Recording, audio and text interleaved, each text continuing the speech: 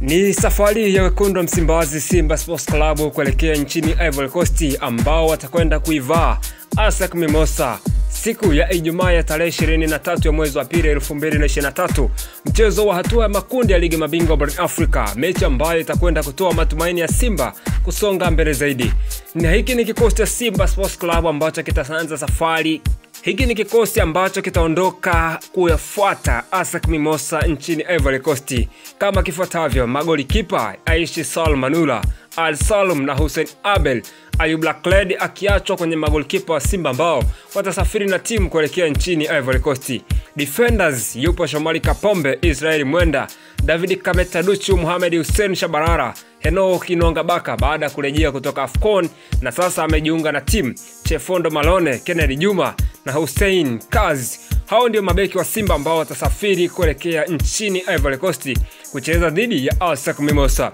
na midfielders wapo Babacar Sal, Sadio Kanuti, Fabrice Ruamba Ngoma, Mzamiru Yasin, Abdallah Hamisi, Saidon Tibazonkiza, Kibu Dennis, Luzimikson, Clatous Chota Chama, Mwamba Lusaka na strikers kwa maana safu ya ushambuliaji itakuwa nao watu wawili pa Omar Jobe na Fred Michel Cobran. Na hiyo ni list ya wachezaji wa Simba Sports Club ambao mapema wataianza safari kuelekea nchini Ivory Coast kuivaa ASEC Mimosa katika mechi ya ligi mabingwa Afrika Africa, Simba wakiwa katika kundi nafasi ya pili wakiwa na alama tano, ASEC waliovuna tayari alama kumi wakiwa wameshafuzu. Je, mnyama mkali wa mwituni atakwenda kuunguruma katika ardhi ya Ivory Coast, katika ardhi ambayo wamebakisha kombe lao la AFCON 2023 nchini Ivory Coast. Wanakwenda kucheza na ASEC Mimosas ambayo ina kiwango bora sana msimu huu. Simba Sports Club wanahitaji alama tatu kama sio alama moja, ambao inaweza ikawafanya waweze kusonga mbele zaidi kwenye kundi